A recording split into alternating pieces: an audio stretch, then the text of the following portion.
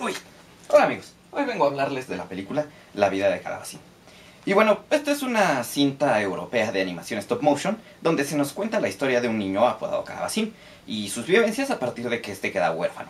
Pero no quiero decir más detalles de la trama porque es una película muy corta, dura apenas unos 70 minutos y está contada de forma bastante concisa, lo cual aprecio ya que las cintas de drama humano tienden a divagar demasiado y esta va a lo que va. Con todo y que la historia a simple vista pueda parecer sencilla, mundana y predecible, en el fondo no es algo malo si la película como tal te logra divertir y conmover.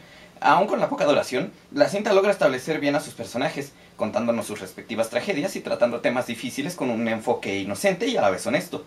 Para darles una referencia sin quemarles tanto la trama, imaginen que la película es una mezcla entre El Reino Bajo la Luna de Wes Anderson y el largometraje de stop motion Mary Max.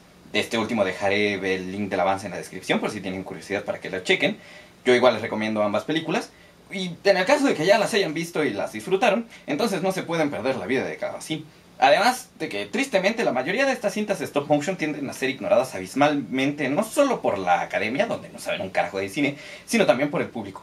Se los juro, yo la vi este domingo y la sala estaba casi vacía y el resto de las funciones como Alien y el Rey estaban llenísimas, así que no creo que pase de esta semana. Eh, espero equivocarme, pero eh, sé que se ve que estas cintas están hechas por amor al arte y más que te debería de verlas, bueno, pues digo yo, no sé.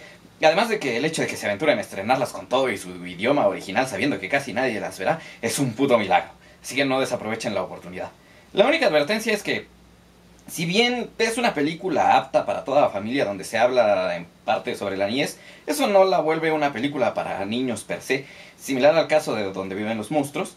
No que los niños de amplio criterio no la puedan disfrutar, Solo que, como les digo, la película, eh, eh, no por ser sencilla, implica que es simplona. Así que si solo llevan a sus niños para desentenderse y que sean el problema de alguien más, mejor métanos a ver los pitufos. O no sé, sean buenos padres y cuiden y quieran a sus hijos. Y no los pongan a ver lo que sea con tal de que dejen de fastidiar. Pero es solo un consejo. Mientras tanto, pues yo les agradezco por ver el video. No olviden dejar su comentario si la vieron o si la quieren ver. Se los recomiendo de nuevo. Yo le pongo un 10 de 10, aunque eso no sirva para nada. Eh, pero esta fue la reseña de hoy. Muchas gracias por ver y nos vemos hasta la próxima.